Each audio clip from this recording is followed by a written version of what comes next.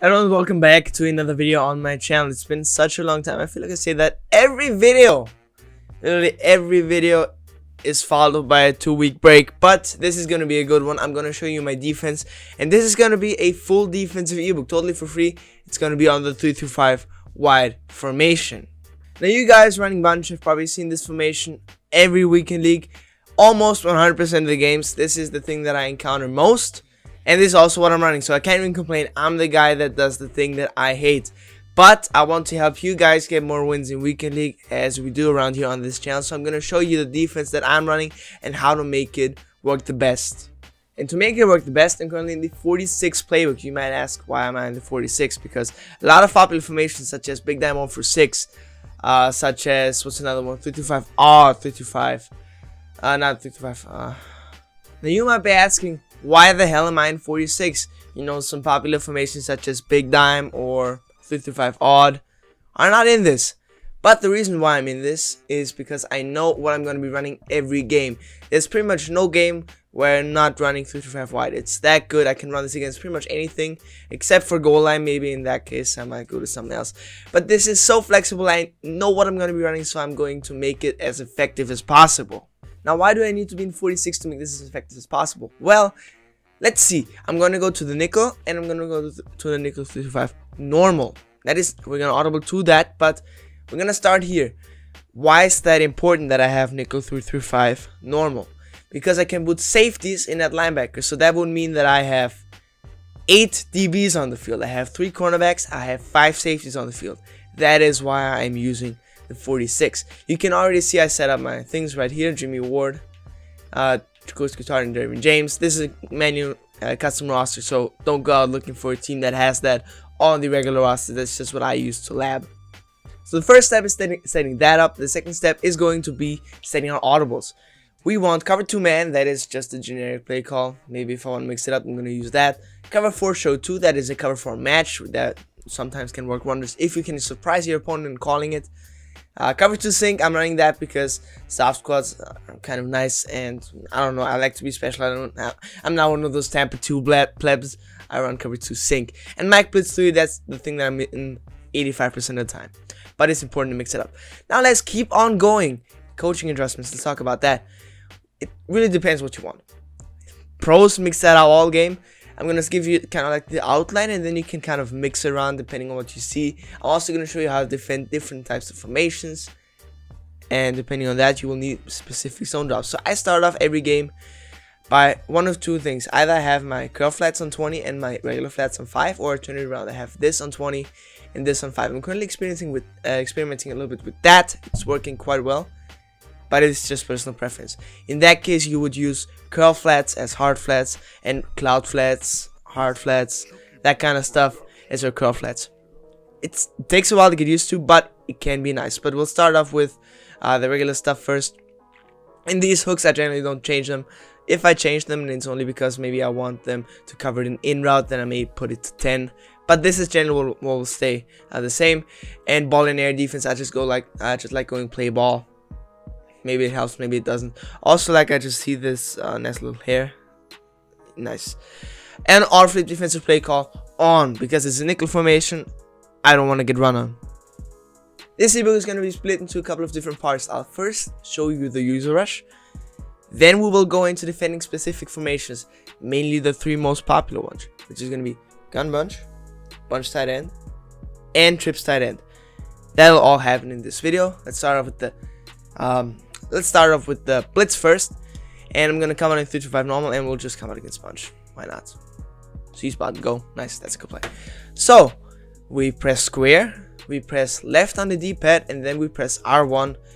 This is the user rush. We shift our line to one side, then slant our line outside. I like to press. And then if they snap the ball, I will just shoot right in. Boom. That looked pretty slow right there if you have a 99 speed user or something like that i'm currently using Derwin James uh, in my ultimate team. He's amazing. He's absolutely amazing but look at how quickly I can set this up. Now if I snap the ball nice I can get through there. Uh, Derwin James he looks a little bit slow right there but in ultimate team again you have 99 speed safeties. It's very tough to combat that. Now the only or yeah let, let's just talk about it. If you block your running back as an offense player, you can make that work, or you can block it. That's why I don't really like the use rush too much anymore. I pretty much play coverage 95% of the time. Sometimes against under center stuff such as strong close, I will send the pressure, but not a lot because it's just people have gotten way too comfortable against it. So this is what I've been doing recently to kind of like still get pressure even though I'm running only three people. I put three double or nothings at these spots right here. One, two, three. There's another thing that I've been trying is double or nothing in edge threat or just edge, edge threat on these two guys right here. Right here, right here.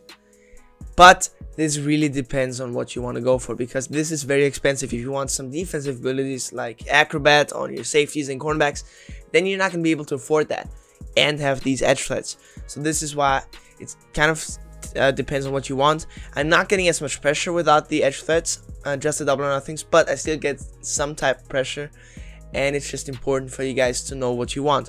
If you want some pressure, go all out, spend that AP, get edge threat plus double or nothing on these guys, and then maybe get two acrobats at cornerbacks. But for me, this is currently what I'm rocking with three uh, double or nothings, and then after that, it's really only personal preference. But now I'm gonna show you how I. This is like my main setup for the generic thing. Is I audible to it, I spread my line, and then I put both the outside linebackers, in this case safeties, in hard flats. Now why did I do that? Uh, because I most people try to attack the sidelines, and I have gotten used to covering the middle with my user. So this is why I feel comfortable doing it. This definitely is something that you have to get used to. You have to cover the whole uh, middle of the field by your user. That is sometimes stressful. So it is important to mix it up. But this is my base shell my opponent is not going to be able to attack the sidelines at all pretty much. That is why I like this. And you're to have a lot of responsibility with the user. Now, this works perfectly well against some uh, plays such as this one. Boom, I'm to snap the play. Snap the ball. Alright, and now you see on the right we have it back. On the left, maybe you can throw that curl out. But he's gonna have to throw it in the tight window. So this is kind of like my base defense, and then of course out of that we're going to adjust. Another thing that I sometimes like to do is I like to go to curl flats, and I'll go on the bunch side with a vert hook, and then a hard flat. Now why is this formation so nice? Because the players actually play zones. If you guys don't know, linebackers don't play anything. They can't jump. They don't have that good speed. They don't, don't have that good zone coverage. So that means they're not really going to be useful. The thing with this is it gives you great flexibility and you will still have players that play those zones. In this case, uh, we're not supposed to have linebacker uh, safeties at linebacker and outside linebacker at the end of this formation, but we can, and therefore we're gonna use it. So, really, this is a, an adjust heavy formation. Uh, there's not there's generally the double Mabel, and then after that you're gonna have to kind of think if you're playing against against good players. So just get used to it. Trust me, I'm gonna give you some blueprints right now on how I defend different sorts of formations. But don't be afraid, go into seasons games and really try out those adjustments. Okay, so now we're gonna go into the bunch specific stuff. For bunch, what I like to do is I generally start off with 20 yard curl flats, 5 yard hard flats. The reason for that is not many routes go deeper in bunch. Uh, generally, it's around that area in other formations there are some very deep crossing routes where we will need some other zone drops. But for me this works perfectly fine. Now we're gonna i'm gonna show you my adjustment. Uh, this is what i already showed you uh, a second ago. This is the uh, starting off adjustment. I audible to it. I shade over top to get these seam flats to play as uh, curl flats. I spread my line. I, I slant them outside. And i put both these guys right here in hard flats. That is my main defense, and this is gonna bag a lot of stuff. But there are some plays that beat this. For example, if my opponent were to come out in mesh post or something, which is one of the more popular plays, the wheel route is gonna burn it, and I would have a lot of trouble covering a slant and a post just by myself. So in that case, uh, there are three routes that will beat this uh, in one play. So if my opponent starts running a little bit of mesh post, this is what I would go to. I would man up the running back with the linebacker. I would put Sherman man up on the outside guy. I would keep the thing on the on the right though because uh, I can kind of uh, pass the slant off to one of these zones and I want something over there in case that it is not mesh post. So this is my defense against mesh post. I did not come out in it dumbly. Uh, so we'll just uh, make it make it work. I know this this is really scuffed. Uh, but you see now let's pretend. All right all right i'm carrying the slant and now i'm passing it off to the post. Now that was pretty bad right there. This post has kind of like a sharper cut so i was not really ready for it. That was my bad. But against uh, mesh post as i just said you want to man up both of these guys on the left. And this is generally one thing that i will do a lot of the time against some other plays too because then i can can direct my whole attention on the right side of the field and what i have currently is i have Isaiah Simmons with, uh, what does he have? One step ahead. He has a hybrid safety, so he can get that, and he's gonna lock up the running back pretty, uh, pretty well. So that is why I like that.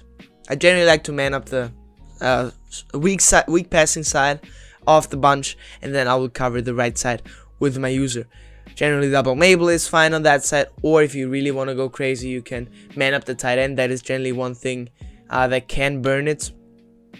And or you could do something like this. That is something that I've been trying recently.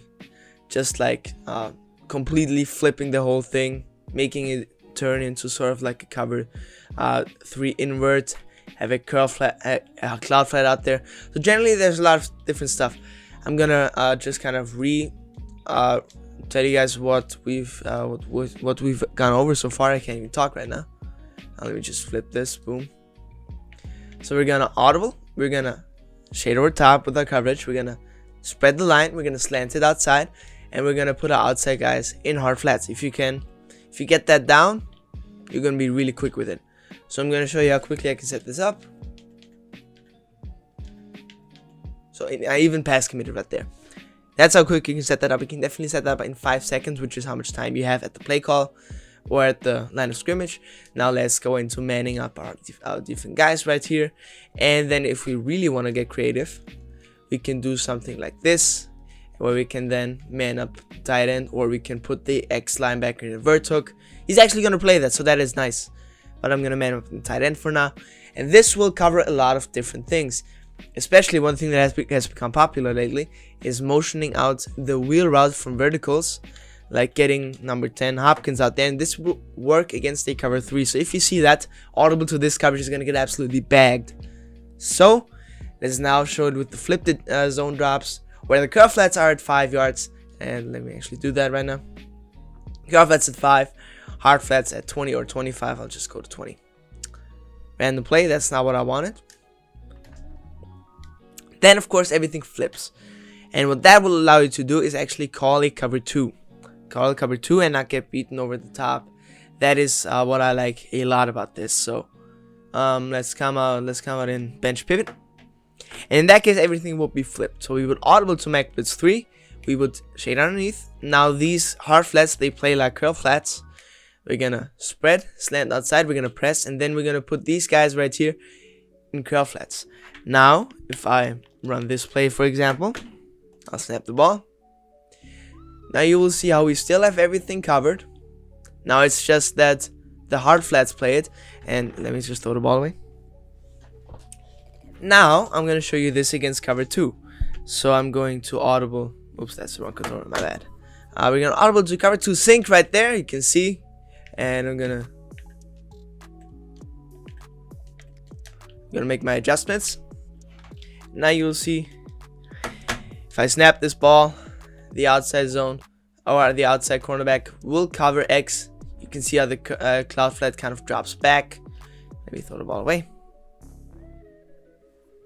So you see, this works perfectly fine no matter what you choose, uh, whether you want to go uh, with the curl flats deep or the hard flats. It just depends on personal preference. And this would of course give you some greater flexibility because you can now also call cover 2 and cover the sidelines pretty well. But that's pretty much all for Bunch. Bunch is one of the formations that I very rarely ever use a rush. Um, because a lot of plays in, involve a blocking uh, running back. So there's no reuse really. So now let's go over to the other formations. Let's talk about bunch tight end because bunch tight end is one of the things that I struggle most with, but I've kind of found some defense. So let's talk about it. Now for bunch tight end, we have to change a couple of things in our zone drops. So we want to go to 30 curl flats. Really want we need 30 and 5 or 10. I like to go 10 because a lot of people only pretty much run one play. And for that I will need my uh, flats to play at 10 yards roughly. So we're gonna come out in tempo 2 and we're gonna come out in bunch tight end. PA boot over. So uh, what we'll do on defense is we will of course audible and make our core adjustments, which is just a shade over top, press, uh, spread the line and slant it outside, just like that. And then now it gets interesting. What I like to do is I like to put this guy right here in a hard flat and then uh, shade over top to make it into a, into a cloud flat. And I like to QB spy this backside guy. Now what happens is uh, they put they put the this guy on the delay fade, and that is the thing that I would have to watch as a user. So, boom, I'm cover that, and then I'm gonna shoot right down to cover the delay fade. The crosshair is gonna be taken care of. Uh, the circle guy is gonna be taken care of. It's just about covering that uh, delay fade. So this is generally my shell that I go to. There's not too much else to it. Really, this uh, this is kind of like a defense that I've I've, I've ran this offense uh, last night. I was struggling hard with it. Uh, I was struggling hard against that defense. Uh, so yeah, this is what I'm using currently. Boom, boom, boom, and now I'm gonna shoot right down to the uh, tight end. The cross center is gonna be covered. The post is gonna be covered. The circle route is gonna be covered by the 10 yard uh, cloud flat. Hopefully, if not, you have to click on and kind of try to make a play. That is one thing that keeps this play together. Delay fade and the circle route can sometimes get open late along the sidelines because zones have a bad logic. But this is the best way you can defend against that in my opinion. Of course, if we now flip it and have 30 yard hard flats and 10 yard curl flats. This of course now changes. We would shade underneath to make sure that our safety and our slot cornerback are in hard flats covering 30 yards downfield and our linebackers will be in curl flats. But you guys get that. There's not much more to it. Now let's talk about something more important though with bunch tight end for example. Um, let me just audible to an inside zone. Now inside zone, how do we shoot that? We shoot it the same way that we use a rush. You will see, boom. Why does this work? Uh, it works because of the same principle why the user rush works. If we were to block our opponent's user rush, we have to block our halfback. Now who is going to block the user rush? if not the halfback who's carrying the ball. So in this case, blocking uh, equivocates to him getting blown up in the backfield. So I'll show you this one more time. Your opponent really cannot run the ball. He cannot run an inside zone. Oh my god, this looks horrible. Let me try that again. Uh, he's not supposed to be able to run uh, an inside zone. So we'll do that again. Nice. You can see if we have five people rushing, then we're of course not vulnerable. But it is important for you guys to understand if you put these guys right here in coverage and you spread the line, then it is of course going to be a little bit more difficult to not give up that many yards. In that case, it's just about kind of making a play with the user. That is something that you will get used to uh, with time. It's just at the beginning a little bit scary. Don't be afraid of it. You're gonna get that. You're gonna develop that skill with the user. It's just tough at the beginning. To, so keep at it. Keep trying to do it and always be ready for that put over in bunch tight end. It's so tough to stop you guys. I understand uh, why you guys are frustrated with it, but this is the best thing that I have found to uh, do it. Some people have been running match, so that is one thing that you could do is you could always cover for uh, show two, shade over top, put this guy right here in the QB spy, and now uh, this can sometimes uh, work. But it is important for you guys to understand there's not one defense to cover this play because there are so many wrinkles your opponent can throw into it. It's just about finding the plays to stop it more often than they than they find the play to beat it. You cannot shut this def uh, this offense out 100% of the time, just if if a person knows how to run it because it's just so multifaceted. It's important for you guys to just stay on the ball, keep trying, and after a while you will develop a feeling for that formation and you will kind of find some better ways of attacking. But that's all for bunch tight end. Let's not talk about trips tight end which i'm kind of split. I can either absolutely bag it or i get torn a new one. When you talk about the zone drops for trips tight end. One thing changes we want it at five yards. Five yards 30 yard curl flats five yard um, hard flats, that's perfectly fine. Actually, let me put some pass rushes in right there. Alright, Temperature, we're gonna audible again. And in this playbook, I do not have trip side but, but I have trip side and offset in very similar plays. So I come on level sail. Level sail. So we're gonna set it up. Same thing as always, we're gonna audible to Mac plus 3, we're gonna press, shade over top, then we're gonna spread our line, slant outside, and this is, again, the double enable is the first setup that I go to generally. Now, this is where things get interesting. Because what some, one play that a lot of people like to run to beat this is this setup right here of level sail, or double in sail in trips tight end. So I'm going to snap the ball, and then there are a lot of things open. The hitch is open, the circle is open, the post. All of that has to be covered by users, so that is impossible to do. I do not believe that this is possible to cover uh, against someone who does not throw books. So what I would go with uh, as a secondary setup is go with the vert hook right here, man up the triangle guy, and watch the tight end. Basically, this side of the field is completely locked down with the Mabel. And the only thing that I have to worry about is a tight end curl, a tight end crosser, or maybe a slant route coming from this guy from number 10 and the tight end blocking. So now if I were to uh, look at this and see if I could make it work. Again, same setup right here on offense. I now were to snap the ball, uh-huh, uh-huh, uh-huh, we now have somebody in the flat that can pay some attention to it. Now, granted, that still looked open, and that is the issue. It looks open, so that means that people are going to be able to throw it.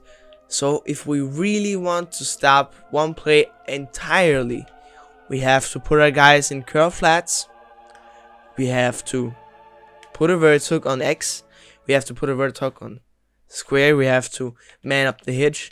And this is all for one play. This is why trips tight end is so good. But now this there really should not be anything open. The only reason why anything will be open is because uh, these players in regs could not play zone. But now you see how everything is bagged. Circle was still open late.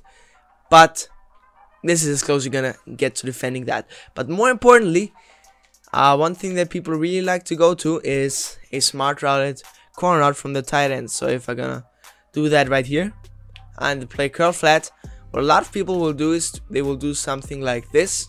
They have a post on circle and they have a setup like this. The post on circle, by the way, in uh, curl flat beats man coverage. So how would I defend that? Well, I would do the same thing that I've always been doing, uh, which is, or not, I will throw a little bit of a wrinkle in. I'll put soft squat right here. I like the uh, vert hook from this guy.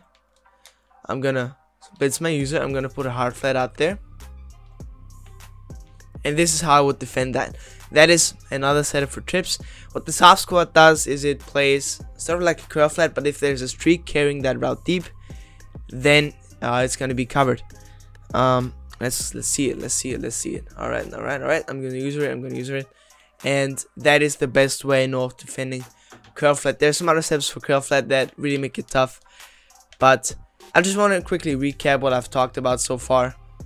Uh, the my bad. Uh, the double Mabel, then uh, this setup right here, and then what was the last one that I have talked about? Ah, yeah. Um, something like this where I'm gonna have to cover the tight end so yeah those are mainly the setups but we haven't even talked about uh, the crossing route yet um, the crossing route if I were to actually I want to audible right here let's just go with something like this what a lot of people like to do is this crossing route from Hopkins uh, it gets in drift side end it gets past 30 yard curl flats if your opponent waits long enough. So at some point the cross runner is going to get over the top of the curl flat and then it's going to be trouble for you. How uh, and how they would combat that is they combat that with the tight end delay fade or how they combine it. So let let me just quickly call Mac Blitz 3 again. Gonna do the same setup. And now what I do in that case is I man up the crossing route. I man up the crossing route, I just make sure there's another guy there that can influence the thing. Uh, if it gets over the curl flat, then I will need someone else to be there to maybe help with the knockout.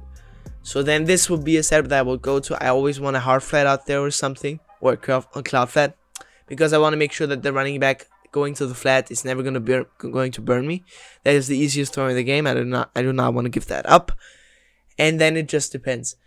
If I want to man up the cross right now, you will see how I'm gonna use this on offense now. There's gonna be a zone there, and even if that zone would not have been there, the the uh, read would take so long to make because he has to wait all the way until uh, the cloud flat. Okay, oh, yeah, curve flat. I always get these mixed up in when saying it. Uh, he has to wait until the curl flat drops down, and by that time he's done waiting. The guy is gonna have caught up. So that is what I like to do against the crossing. That is why it's important also to have it on 30 yards, the curl flat zone drop. And make sure that you have some guy on manned up on him so that if he waits, there's time to catch up. But this is pretty much all uh, there is about to say about this. How to actually one more thing, inside zone still uh, and the defense still works the same for this as it did for the other time. So I'll just set up the user rush. I'll just Oh my god, he just caught up on me. I just set up the user rush and try to make a conservative tackle with um, X. So we're gonna audible to inside zone, nice. And now you can see how we just combusted that run in the back foot. This, but this is all that I have to tell you guys. Let me put the controller down ceremonially to tell you that the video is over. I hope you enjoyed it. I hope you learned something. The reason why I'm running 46 playbook again is because I need three safeties at linebackers on the field, and this really is what makes this formation work. The ability for outside linebackers to play zones, to have good catching, to animate on passes. That is why I like to run this. The user rush has kind of come out, gone out of style, except for understanding formations. Some people who run who run strong close, I absolutely tear them a new one with the user rush. But besides that, Get used to playing coverage, get used to the adjustments. If you have any questions, of course, let me know in the comments below. Also, subscribe to the channel. I wanted to kind of give you the content before I actually to subscribe to the channel. It would really mean a lot to me. I appreciate you taking the time watching the video. As always, it's been a long time. I wanted to put this out for a while now. I just never, never gotten around to doing it. Till next time, goodbye guys. I love you all. Support has been amazing. Let's keep grinding to the 1000.